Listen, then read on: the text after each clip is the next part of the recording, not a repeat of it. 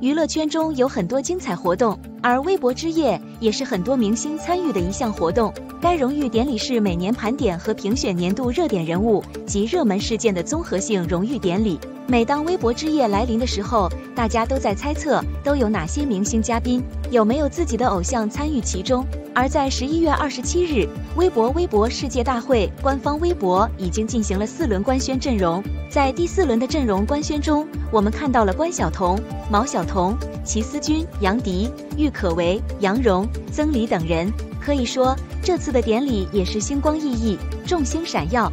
大家都非常期待，还有哪些嘉宾会参与此次的微博之夜？更加期待这次的晚会的当天。而每当微博之夜来临，肖战、杨紫都是大家讨论的焦点。虽然现在还没有官宣两人会出席本次的微博之夜，不过已经有不少小道消息证实了此事。在二十六日，就有一些博主透露，肖战已经离开杭州，前往苏州参加微博之夜。而且据悉，一些准备拍肖战的主播目前都已经买了微博之夜的门票，门票的价格也是非常惊人。而杨紫方面也有消息称，将于二十八日先前往上海，随后赶往苏州参加微博之夜的活动。这样看来，确实两人应该都是要参加这项活动了。不过这也很正常，他们两人都是风雨人物，有了他们的加入，关注这次活动的人肯定会增加很多。最重要的是，杨紫和肖战曾两次拿到微博 King 和微博 Queen，而且还是同时获得，所以他们也算是代表性的人物，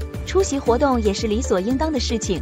很多粉丝们都希望他们能够再次卫冕，毕竟他们真的同框真的是太养眼了。大家都想再看一次，而且此前获得 King 和 Queen 要画出自己的心情时，杨紫和肖战也是默契十足。杨紫画了一个月亮，肖战则是画了一个太阳，都给人带来正能量。